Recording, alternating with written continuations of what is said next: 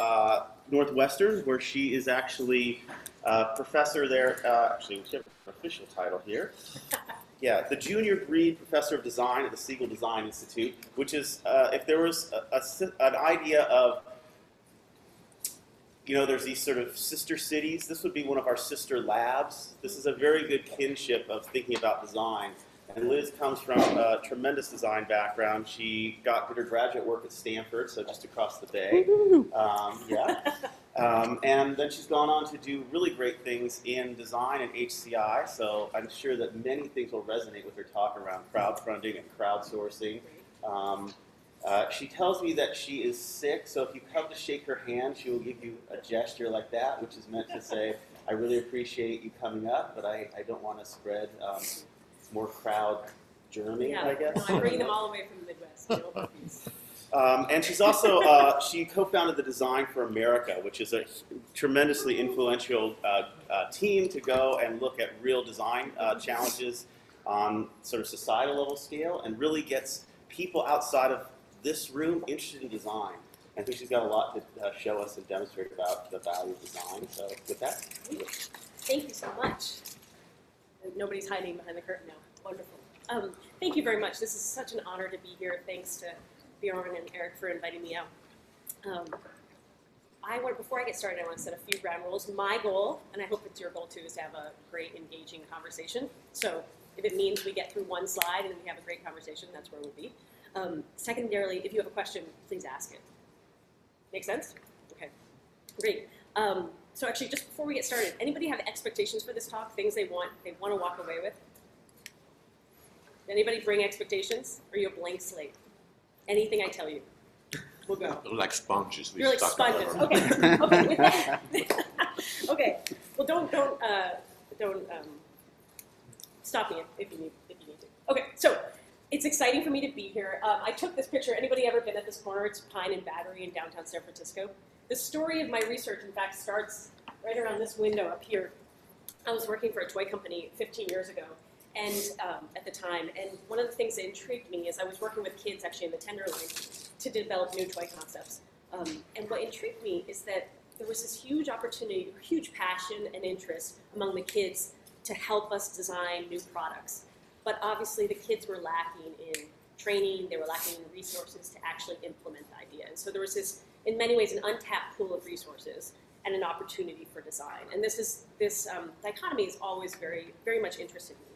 And so the work I'm going to talk about today is how is it that we can use technology that affords the new social interactions and the transfer of information to actually bridge, bridge this opportunity. Novices who need training and resources with opportunities and problems.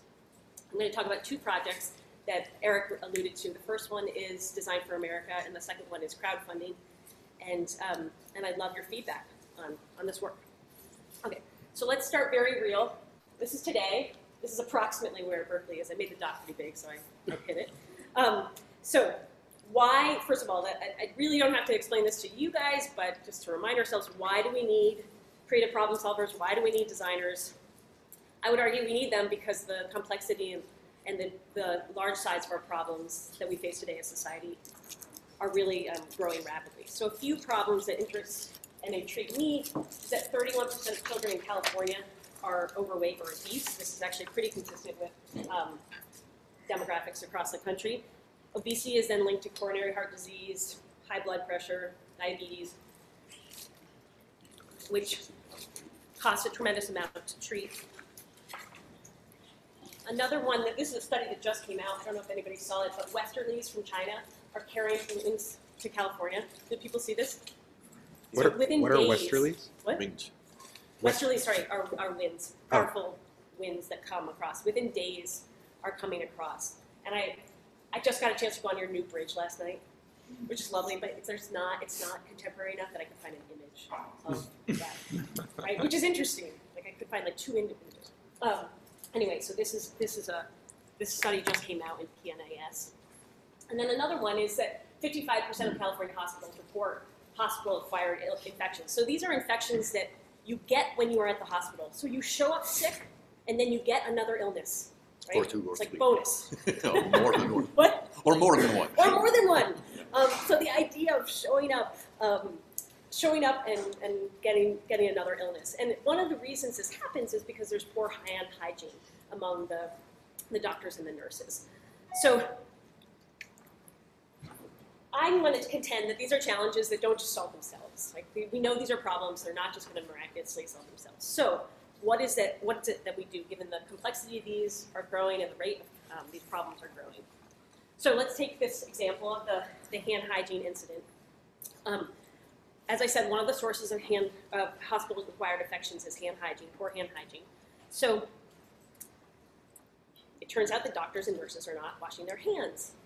So I had um, this is Mert and Yuri, two um, two 19-year-olds who were learning about human-centered design for the first time. They were not it was not their background, um, but they did a, a six-week experience of human-centered design. And what they did is they went to the hospital to find out what was happening because they thought, you know, these nurses and doctors are probably well-intentioned, right? They're not intentionally not washing their hands. So what does it look like? And I love this drawing. This is a this is a diagram that they did of the, the floor plan, right, of the of the hospital room. HS stands for hand sanitizer, and everything else everything else is explanatory. Um, this is the, the cart that they move around with the equipment on it. And so what they did is they observed, as you know, this is the start of all um, design, the human-centered design process. And they, what they observed was that when when doctors and nurses walk in this door, they have so little, especially doctors, have so little time with the patient, and the first thing they do is turn their back to the patient, right? So from a social perspective, they want to walk in and go directly over, but they turn their back. So then they put in this hand sanitizer, so now they can go here. But then when they're on the other side of the patient, they actually can't sanitize their hands. And as it turns out, every after every um, you touch a patient, you're supposed to sanitize your hands every time. So it turned out there just wasn't as many convenient opportunities for sanitizing their hands as there could be. So that was one observation they met. They also had a chance encounter with a nurse in the hallway, they went up to meet a nurse, and she was holding a, a wet water bottle. And she um, took her hand off the water bottle, wiped it on her on her scrubs before shaking their hands. So the combination of accessible hand hygiene with um, with this this child motion, right? We've all learned this. This is where you wipe your hands, right? Not napkins, not anything your mother told you to do, but on your on your napkin. So the combination of things, they decided they wanted to make uh, portable hand sanitation device that actually could be on the body of the nurses. So they made these lovely prototypes. Um, and as you can imagine, um, not, a, not everyone flew, right? They were a little intimidated, but low, low five um, fidelity. They then eventually got on to um, much more sophisticated models, made over 40 realistic functioning um, prototypes. In the process, they taught themselves how to use a 3D printer, program Arduino boards, um, go through many of the processes of design. They met with the, the nurses and the staff to get feedback. And then eventually they came up with a product that they felt was good enough. They went out into um, a health, what's called a health box incubator. They went into an incubator. They pitched their idea. They got money from VCs. And now here they are, 23 years old. Four years later, they have a company called SwipeSense.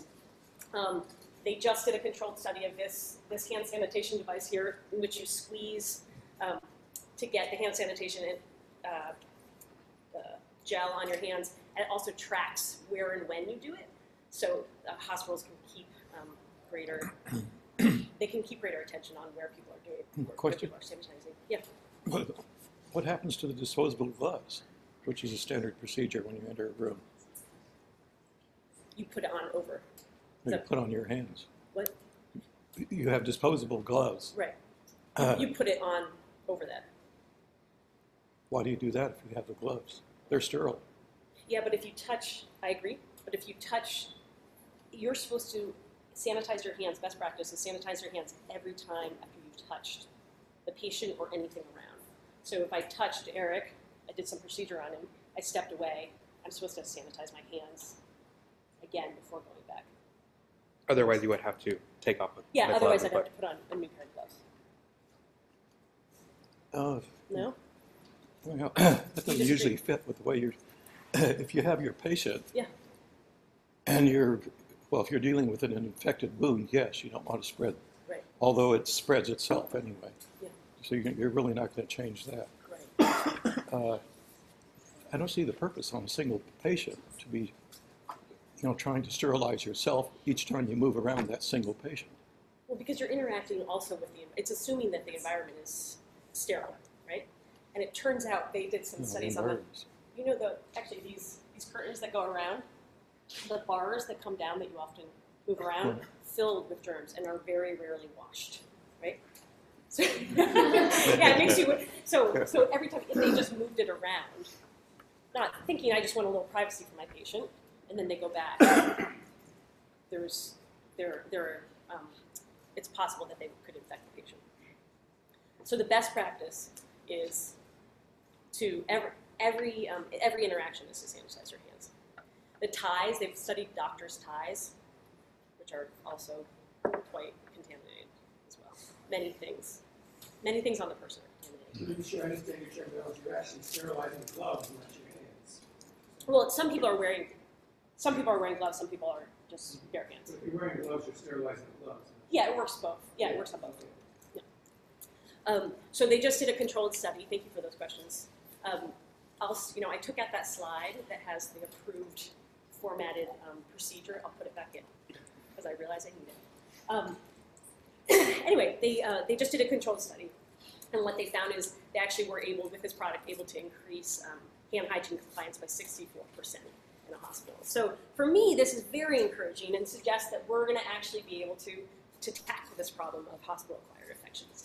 So the reason I told you this story in detail was because really what they had to go through to get to this point of impact was understanding, learning about the design, human-centered design process, of which they knew nothing at the beginning, and then they had to go through learning about entrepreneurship, again, which they knew nothing about in the beginning.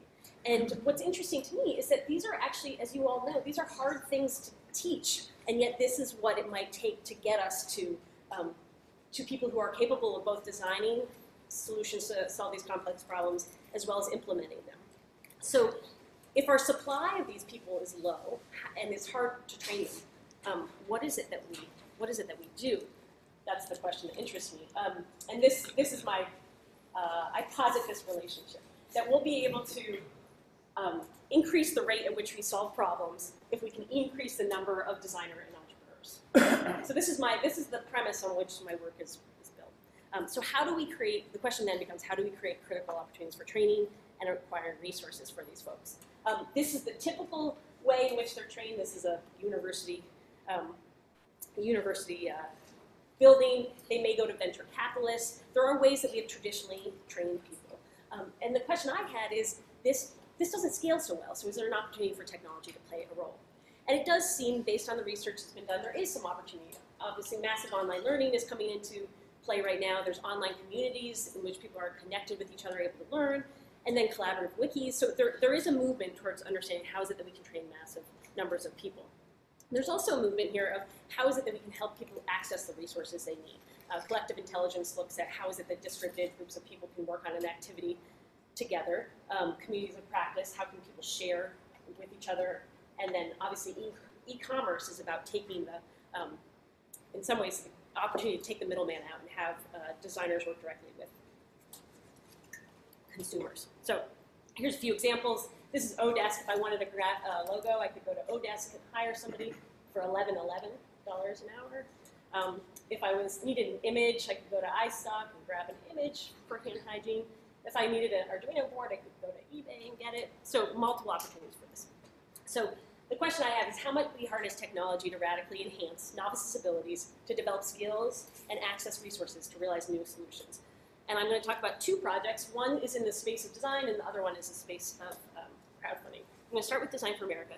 Design for America, call out over here. Nice. Okay. I have a- I have a quick question. So Yeah. when you go back to the, the graph, I'm gonna have to step back. Yeah. Um, so there are there are kind of two ways of yielding the same graph, and they're, Yeah. they're different. I'm, I'm just thinking about that because Yeah, it has this re- reference to MOOCs, so Yeah. and to, to crowdsourcing. Yeah. One model is that you just want to want to you know give many many people the opportunity to participate. Yep. And then all your online systems are basically just filters, and you filter out the people who are most self-motivated, Yep. who really uh, want to participate anyways, Yep. and you keep those. That's how a lot of crowdsourcing work. Yep. That's arguably how MOOCs work, uh, Yep, right. where they succeed as well. And the other model is um, that no, you kind of want to you know lift everyone, and Right. that um, so the people who are self motivated that will work great, and Yep. for the other ones you'll have to work a whole lot harder. So, which camp are you are you in? Is this is this design education for everyone, or is this cap everyone so you find the right number of good designers? I would argue that, well, the vision, the vision is that we have a national network of people working on these problems at all different scales. And so I think you asked a good question. Is everybody, is it just an elite group of people who have gone through this training in this process, or is it absolutely everyone? Um, I tend to, I tend to think that we can, um, we can bring up the, we can raise the, the bottom level. However, the work I'm presenting today is a self-selected group that has gone into this. Does that make sense? And I think we need to get that first group up so we have more role models, so then we can bring the other. That's my general idea. Um, but I do have a vision that we could bring everybody along. That's my goal. Okay, so here's our university. Thanks for asking that. Yeah. Okay, so in 2009, I started an organization with three amazing students, Mert and Yuri, who were earlier, um, who did the hand hygiene process, were part of this. And it's a network of student designers using human-centered design to make social impact. We're at 17 different universities across the campus. Here's an example of the summer studio. They come together once a year to get training and networking with each other. Um, it's a broader, they're in a broader network of 2,500 people who offer um, advice, mentoring, um, and resources that they might need in this process. Everybody is a volunteer participant. Nobody gets credit. Um, this is a group of students meeting together um, in the Cornell studio. Um, and they're giving a workshop actually to some of their peers. We have the teacher leader model in which we train we train the students to train the other students to to understand the design process. Um, this is a professional mentor working with with some of the students. Uh, actually, a faculty member at one of the universities. Here's a professional designer working with one of the students. So again, all volunteer time. Um, volunteers tend to commit about two to three hours a week, and um, and they're really trying to trying to make an impact on these people. Um, what's exciting to me, particularly, yeah, um, what's exciting to me is that 25% of these people are um, women in STEM. So we draw from people across the campus, um, all campuses, all majors. We represent over 65 different majors, and 25% are women in STEM, um, which to me, as a woman in STEM, is, is a very exciting number to have that many people working. Um, and what we're finding is actually is turning out to be a great recruitment tool to engineering majors, for particularly for women in STEM. Okay, what kind of problems do they work on? Um, they are tackling local problems. Examples of problems, as I uh, suggested at the beginning, is improving hand hygiene, and they're always linked to a bigger problem. So it's not that you're just uh, solving hand hygiene in the local hospital. You're, standing, you're solving it in such a way that then can scale to other places. So it's taking a hyper local approach so that the students can really understand what's going on, um, and then and then scale it. So for example, in Berkeley, they might look in a you know in a in an area like this to find the problems. And this was really in response to some work that I was doing down at Stanford um, D School, where we had a student came into my office and said, "I'm going to this location for one week. How do I understand everything about them?" And I, I just thought, "Wow, you're, you can't. You can't. it just won't happen." Um, and so I thought, well, what if we just take out that distance, have people work hyper local, and then scale from there? So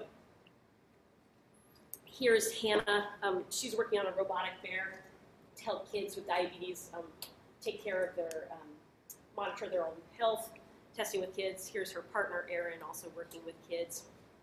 And the real, the idea from like from a value proposition standpoint, what we're really trying to do is with the students, we're trying to teach them skills, give them meaningful social experience. The professionals are participate because they're um, enjoying being connected to the talent, as well as there's an interesting thing in which they're enjoying the vicarious, what I would call vicarious experience. So a lot of them will come and say, I say, why do you give this much time to Design for America? And they say, I give it because I wanted this program. I wanted this opportunity when I was a student, and it didn't exist. And so this is very powerful to me.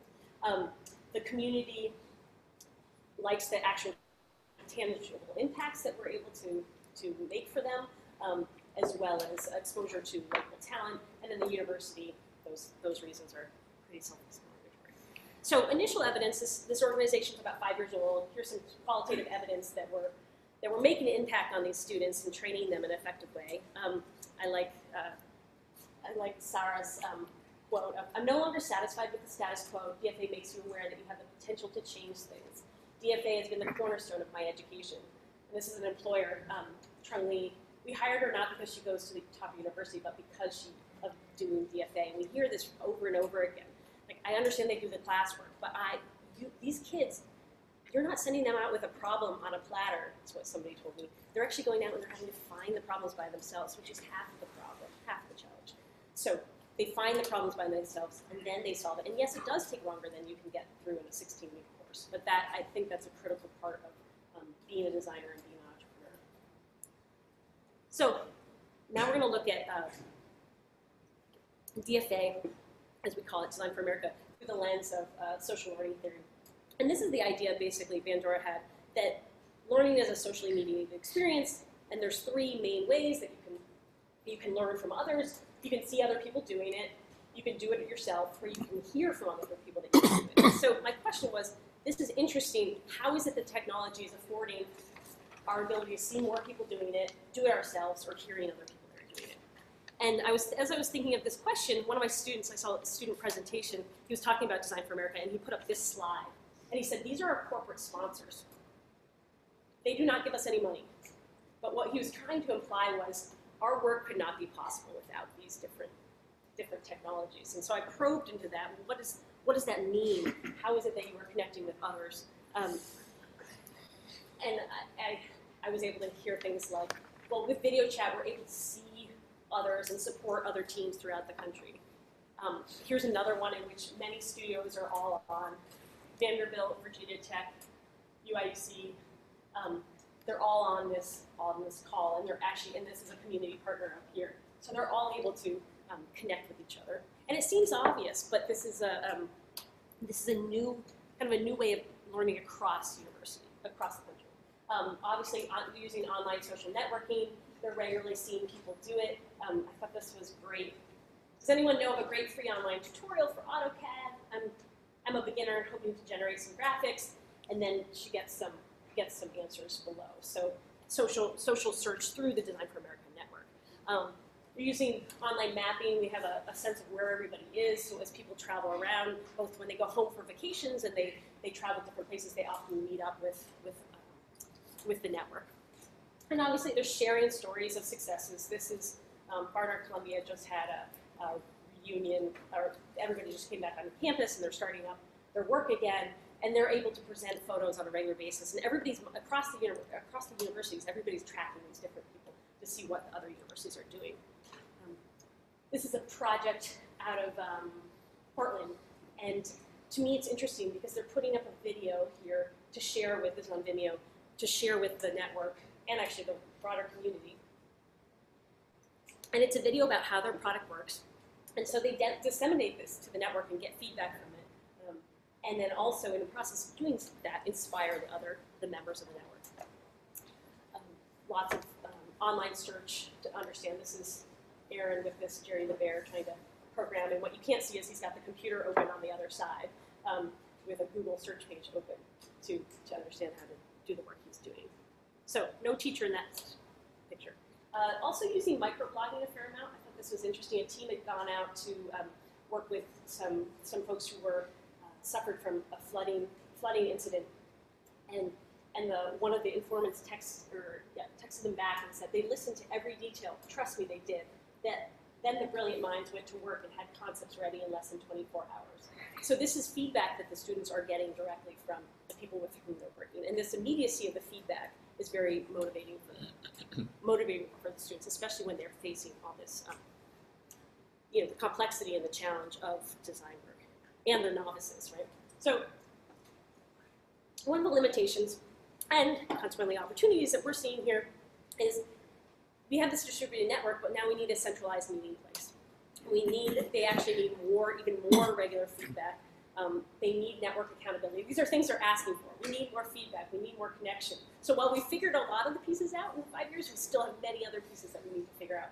And they want increased access to instruction, right? Because this is informal. This is not the typical classroom. We're not giving them every, we're, we're giving them instruction, but in much more on-demand kind of ways. So what we've been working on to um, to do this is we've been trying to effectively take all the, the kind of natural inclinations and the tools that they've used, as well as the online experience with the offline experience, and create something we're calling the Digital Loft. Um, the Digital Loft is an online platform that allows that takes the, the best of these different um, social media elements and allows them to get instruction, reach out to the community, um, and get the resources that they need. And so, from a research perspective, what we've been doing is looking at the complex socio-technical um, interactions that happens when between the designers when you have the system, um, and exploring what that what that looks like in a design context. I'm not going to go into this, but very detailed models of how is it that people are interacting with the system, and in which ways can we make them more help them be more effective with the system. So that's where that project is right now. The loft is a very large um, project, uh, and we're we're spreading it out to all the studios. So that means we're going to have we have hundreds of users effectively, and it's been very exciting and personally gratifying for me to first form a community and then form the, the tools to, to support it. Um, I think often some of my colleagues will say, well, I've, I've made a tool, but nobody's come. you know, you can build it, but they will not come. Um, and so it's, I think it's reflective of my background, which is in uh, both design and organizational behavior, which is to cr- create the network of people, right, with a meaningful interaction, and then create the technology to support that, that work. Uh, the second problem project I'm going to talk about very briefly here is, um, again, goes back to this research question, how much we, how might we harness technology to radically enhance novices' abilities to develop skills and access resources to realize new solutions. So the area I'm going to look at here is some recent research in the area of crowdfunding. So we've talked about we've talked about design. Design for America is a, one of a potential solution for scaling design training, design education, hands-on hands-on design work. But what about entrepreneurship? Where does that where does that fit in? Um, I've been thinking a lot about crowdfunding as an opportunity for scaling this kind of this kind of training and access to resources. So, with that, um, I'll introduce you to Tan, Chadwick, and Joe. These are some folks who needed a relatively small amount of money. Tan needed 100K, Chadwick and Joe needed 30K um, to realize their projects. And so, as you may know about crowdfunding, um, they didn't go to they didn't go to NSF um, because they didn't have a track record with NSF, as we know you often have to have. Um, they could have gone to Sandhill down the street here, but uh, they didn't have connections, right? And they could have gone to the bank, um, but they didn't have equity. So, what did they do? They asked the crowd, and this is where this phenomenon of crowdfunding has come from. Technically, we call crowdfunding as an open call on the internet for financial resources in the form of monetary donation um, in exchange for a product or service. Um, there are over 600 crowdfunding platforms raising 1.6 billion dollars. That's just a stat that just came out. Kind of blows blows my mind. The majority, the people who are earning the most money are engineers and designers, which is interesting. Um, here are some popular platforms. Indiegogo is right in your backyard. It's right downtown San Francisco. Kickstarter, Rocket Hub. You probably Kickstarter is the one that's grown um, the most rapidly. They're using web technologies um, such as Amazon Payments and Pay- PayPal to exchange this um, money between the creators and the funders. And in reality, it's really not that different than something we've been doing for a while. Um, this is passing the hat. Has anybody ever in, been in one position or another, either putting money in or playing music? Anybody? What side were you on? What side were you in? You were on that side? Paying money. Anybody been a musician? I've never done this, and I want to do it. I don't play an instrument, but I want the experience of seeing what it is like to do it. So I might teach myself just to do it. Anyway, so this is called. It's actually called busking, um, and the difference with with web technology effectively is it just expands the number of people we can ask. Right? This is this is effectively crowdfunding on a much larger scale. Could you comment about any growing need for uh, auditing, transparency, and oversight, Yes. or and any scams? Scams. Yeah, we could spend the rest of the time talking about that. There are issues um, with not everybody delivers. Most projects are delivered late, right? So if you, even if you expect a, a, a project to come, in fact, there's a great story in which this very accomplished design, I'll keep everybody anonymous, but very accomplished person, um, was running late on his deadline. And he actually hacked into Kickstarter, the Kickstarter interface, because people were leaving negative messages on his comment box, and he hacked into it so that no no negative comments would show up, because he didn't want to he didn't want to sully his reputation even further and have a, a record online, because Kickstarter keeps the keeps the comment box up.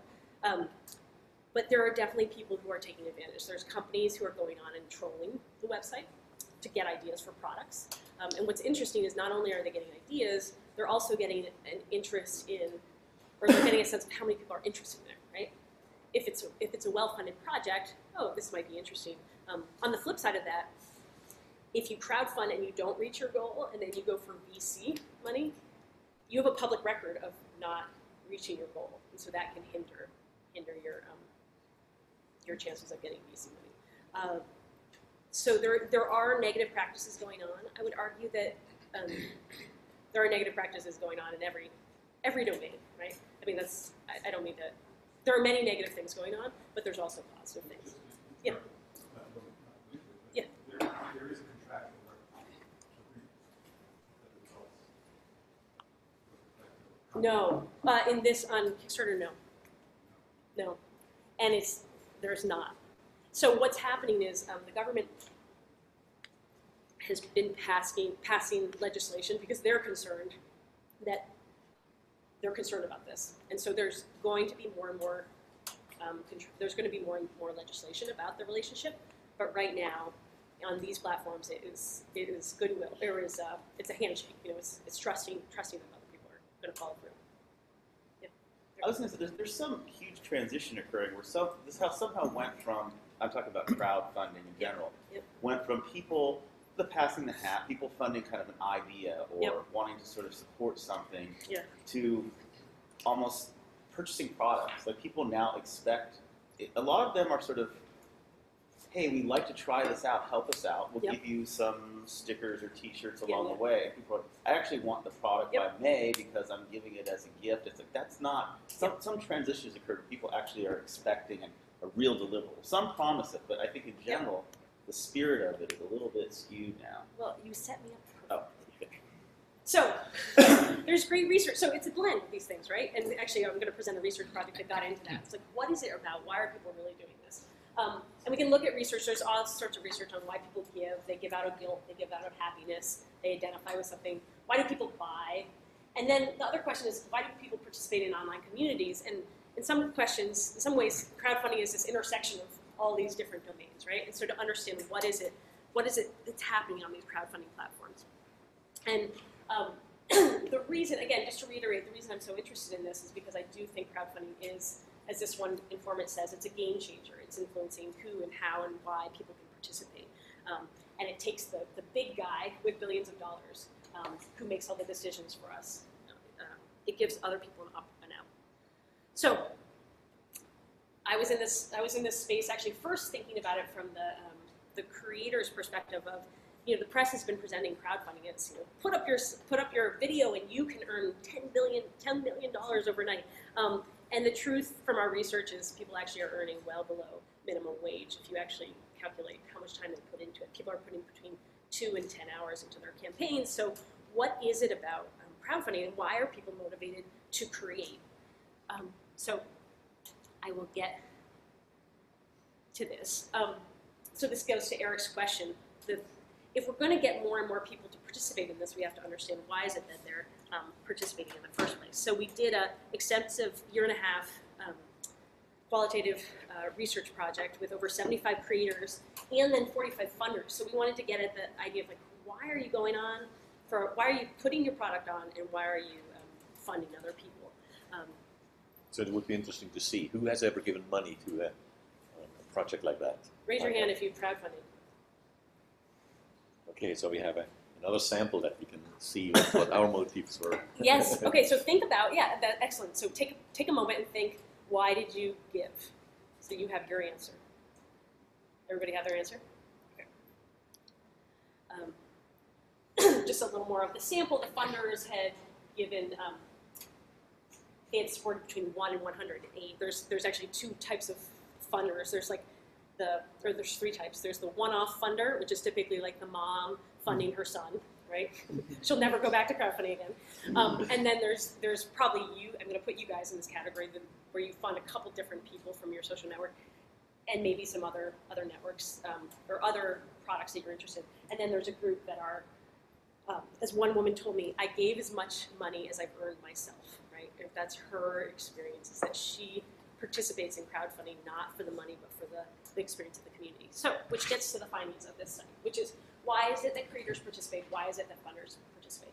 And Eric was right on by saying people are interested in collecting. This is effectively e-commerce, right? I want, I want the product. I want whatever it is. I want the snowshoe. I want the, um, uh, the 3D printer. But then there's these other, there's these other motivations that are also coming out very strongly, um, which are I want to help others. I want to be part of a community. I want to support a cause. So, for example, this is, um, which is very typical cause-based giving. This is a, a uh, one example of this supporting cause is a guy who is um, really into dolphins, and uh, and there was a dolphin Kickstarter campaign, and he went on and supported that. Not because he wanted the little um, tchotchke that you got on the desk, which was a dolphin um, wing or a dolphin fin, but um, because he wanted to support the cause. And then why do creators do it? Well, at first we thought, well, they're doing it for the money, right? They they want to raise funds, but it turns out there's actually a complex um, set of motivations here. They want to expand the awareness of their work, so they want to get out the word. Um, I've had many people say, I, I don't care about the money. Sorry, I just saw a workmate I haven't seen for 15 years. Hi, Chris. That's exciting. Um, I started talking about while playing. Um, anyway, they want to um, expand awareness of work, form connections with each other, have their idea validated, um, maintain control. This is about wanting to maintain the creative control of their product. So, for example, a lot of designers have the experience of going into a major company, selling their idea, and then having the idea very much change. Um, and then also to learn communication skills. Because we're short on time, I'm just going to Oh, go into. Yeah. It seems one thing is really missing. Yeah. Oh, yeah. What's missing? Simply create something that couldn't be created otherwise, right? For instance, um, I, I was uh, participating in somebody who wanted to put together a really neat sculpture. Mhm. Okay. And, you know, somehow he wanted to see that. And so Yep. crowdsourcing, you know, and everybody would get a little copy in the end. But, Yep. but then uh, the real thing is that somewhere in a public domain there would be this wonderful sculpture. And I don't see that because, Well, All was of it the others raising are- money to get the materials? What was the? Well, but you know, it's raise just the money is, is only in the way there. The, the main thing is to actually get something done, right? To get something done. Yeah, and that's really visible and that's very unique and Yep. maybe otherwise wouldn't happen, right? So I think But that should be like number one of the creator. I totally agree. What was preventing the sculptor from getting something done? It was a step before that.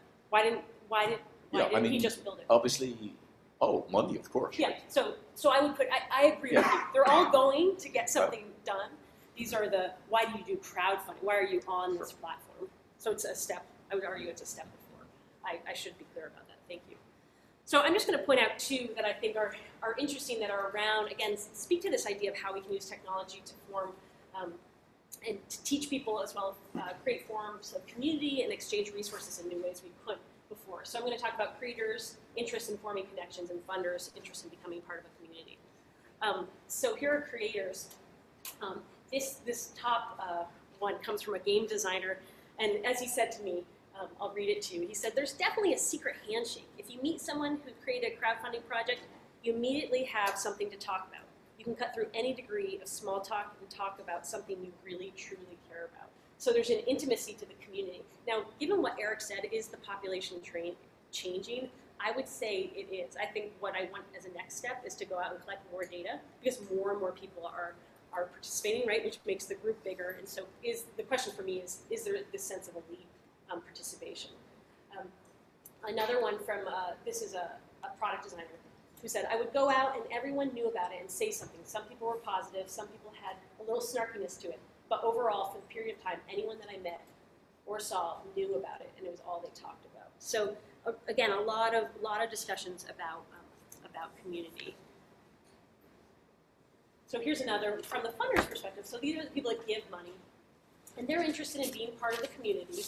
Um, and this this one was particularly interesting to me. There's a whole community of funders created outside that are joining up with each other. Um, this woman described, I follow the campaign, the Kickstarter campaign fairly closely. I check the project website once or twice a day in the forums, and I interact with the community online.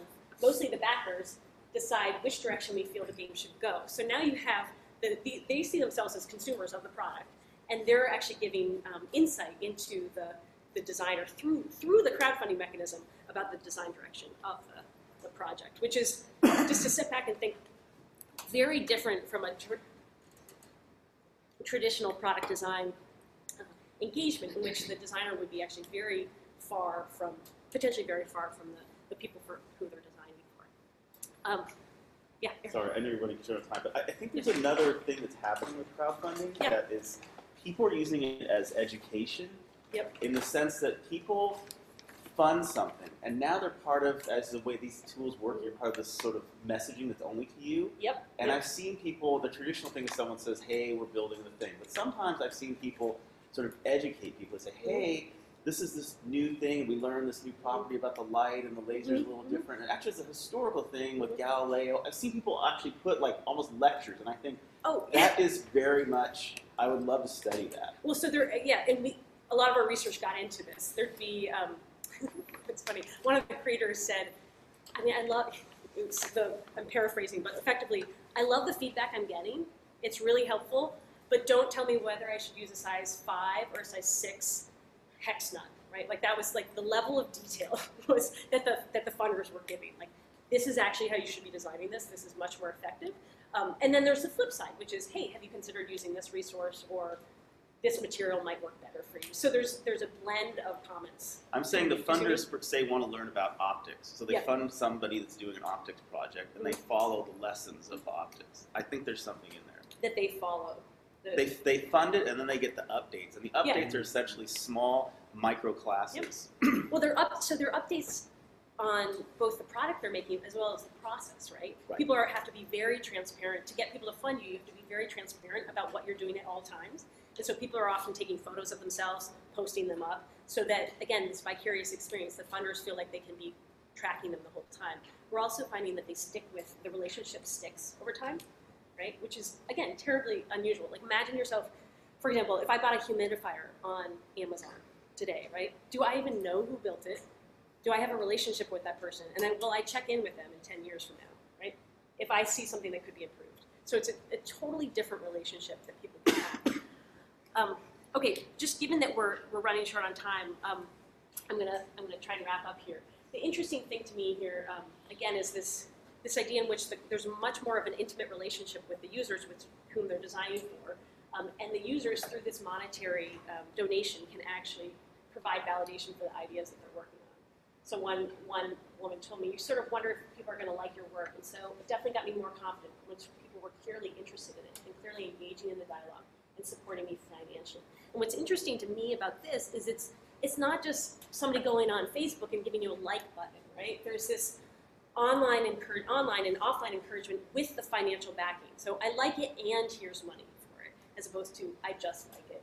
Um, and I think the interesting opportunity for crowdfunding is is creating a lot, a larger number, effectively, of designers and entrepreneurs with this idea that instead of doing it yourself, you're now in this collective doing it together. Now, crowdfunding is not without challenges. There's a lot of there's a lot of reasons people don't crowdfund, uh, which we investigated. People are fear fearful of public failure, right? You get on there and you fail, and your campaign is is stays on there, it says unsuccessful, big red light, red light, right? Um, some people have concerns about attracting supporters. This tends to do with who they perceive as the people on in the crowdfunding community. So, for example, um, uh, a person working on a medical device was talking to me about, you know, I, I think people would be interested in it, but I don't think these people are in the crowdfunding community. It'll be interesting to see if that changes over time. Um, and then the time commitment. This is, as I said, people spend between two and ten hours a day on this. Incredibly um, timely, or time uh, takes up a lot of time. And then the funders, this goes to your point back there, is they distrust whether people will use the funds or not. Um, if they use them wisely. In fact, there was one one story in which a creator underestimated the amount of money that he needed, which is actually pretty typical because he didn't have training in estimating costs. So much so that, and he wanted to deliver what he had promised to his funders because he felt like he had a commitment to them. He sold his car to get extra money to finish his crowdfunding campaign so that he could deliver the product on time. So there, there are some people who are really trying to um, to gain trust, but there are other people who will abuse the system. So what we're doing because of this is we're coming up with some tools for crowdfunders that will just help them. Um, two tools quickly that we're working on. This one we're calling Shout Out, which is effectively a visualization tool to help people understand who's in their network, how to estimate the size of it and activate it. It turns out people are not very good at estimating and activating the size and expanding their network. So that's one tool we're working on that actually grabs off um, networking data from different people's um, social networks. Um, and then we're working on a tool we're calling Critiquing, which is effectively having people give feedback. We're posting crowdfunding campaigns online, getting crowd feedback before they even post it so that they can improve the idea. So I'll conclude by saying I showed you two projects, Design for America and crowdfunding, and the goal really in both of these is to use technology as a way to enable um, or organize massive numbers of people to learn design and entrepreneurship skills so that they can solve these big problems. And the big vision I have is that we will ultimately have this interconnected network of people throughout the country who are working on problems at a hyper-local level, and they have the skills to work on projects at a hyper-local level, but they can depend on the resources of the larger community. So with that, I'll conclude and say thank you very much for having me. This is these are this work has been done by many many people. I have great lab mates um, and great colleagues, and uh, this is one of the, one of the places in which we work. And it wouldn't I wouldn't be here without them. So with that being said, what do I need to know? Tell me, talk to me. Reactions. Thank you.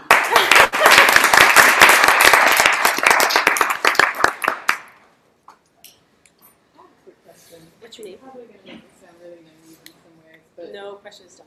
um, I'd be interesting, interested in hearing your thoughts in a way on whether money's gonna solve the problems, or whether there's certain problems that are culturally rooted, and how is it, how is design for America essentially addressing cultural conceptions as opposed to like generating money to make something in the world? Yeah. So I'm not saying that it can't. No, I think the me- I think it's a question of medium.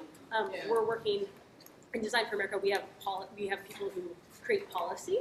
Yeah. Have create people who create product, Mhm. right? Services. So I, I we're not constrained by the medium, and that the goal is really to teach the design process to all these dis, dis, different disciplines, so they can bring in Yeah. the medium that works best in the domain. Does that make sense? Is there a specific example where maybe it didn't start a venture capital thing, but there was like a maybe more of a grassroots initiative based Yes. on design? Many examples. Um, I'll give you. I didn't have all time to go through all of them, but um, one of them had to do with uh, transportation, and actually it was a lovely it was a lovely instance in which um, it was a Virginia Tech team working on transportation um, and how is it that people can use more mass transportation, and they came up with a product solution, right, which was lovely. But then what what was interesting is that the their story was put in the local newspaper. The mayor read the local newspaper, and now the students are actually in a conversation with the mayor. And what they're saying is, we built this sign, but really what we want to do is change the policy. And so now they're in a conversation with him about. a little before. Yeah, so it's like, there, I mean, there's there's the, the track of these projects is is really, um, they're interested in solving the solution. And I think one of the challenges that we face, and I know I faced as an engineering student, is a product was always the solution, right? It was always like it was like this is, we got to have something that fixes this. Um, and I think the reason I did, I, I did a, my PhD in organizational behavior was because I realized oftentimes it's, it's an experience problem. We need to redesign the experience and there could be products that support that. Um, but it's, but we need to think about the broad, we need to think about a systems point of view rather than an individual product, right? Um, which is, which is where my, I'm thinking much more systems level than, than product design, which is where I started. Yeah, yeah. So, um, in, in the beginning, going back to products, you know, motivated looking at uh, Design for America and, and both crowdfunding from this, the motivation of creating new solutions Yep. and putting them out into the world. Yep. And so, I've been teaching together with Paul Wright in mechanical engineering this, this course of actually making functional prototypes. And we talk about crowdfunding, and in this particular domain where it's not an album, um, where you've maybe you just need the studio time and then you need mechanical reproduction or Yep. downloads. Mhm. Um, but where where it's a a product, the um, the gap from prototype to something you can sell is so large that crowdfunding seems to be the money is too easy to get and you don't get enough. So Okay. you don't get enough other than money, right? You get the Yeah. money, but there are so many other concerns related to design for, for manufacturing, related to logistics and warehousing and Right. all of these things, how you turn this 3D printed piece of Yeah. plastic into something that Yeah. you can sell in the store Right. that many people just haven't have not learned about. I totally get it. And so here's what's exciting to me is that there, there are these communities forming that says, listen, it's great you can raise that much money, but here's the here are all the other things you need to do, right? It's just like a, a pitch to a VC or a um, like a hackathon or a pitchathon, whatever. These 24-hour things, like that's not it. That's not starting a company, right? There's a whole bunch, bunch of other work. And so what's happening with with crowdfunding is these people are actually all getting together um, and they're connecting with each other and sharing stories with each other about, hey, listen, have you thought about have you thought about manufacturing? Have you thought about um, shipping? There's a wonderful story from from a man who said, I had calculated costs for everything except for the time and the energy it would take to ship. And he said, I spent a week straight in the post office, like you know, putting on stamps, sending stamps, right? And these these parts that people often miss. And so one thing is they're connecting with each other. The other thing that's interesting is there's a set of professional services that are coming up Right. that allow people that are effectively offering to help in this way, and you give them five percent of your profit if they help you um, manufacture and deliver the product. Um, so yes, this is happening. So the question from that then Bjorn will be: if this professional, if there's this is becoming a professional field, right? Will the novices still enter? Right? I, I think it's it's a great question. The the way of phrasing that is, if there's sort of a a Strauss phenomenon, that Mhm. where sort of real sustainable money is made back in the city, not. I'm sorry. The real sustainable money is what? The sustainable money is made back in San Francisco, not in Goldfields. Yeah. One, one, Yeah. Have you seen any, any indication of crowdfunding taking on a debt position with respect to the recipients? Can you explain what you mean by that? Well, sort of, this seems to be this giving, which would sort of fall under the equity, Sure. Right. equity uh, contribution. Right.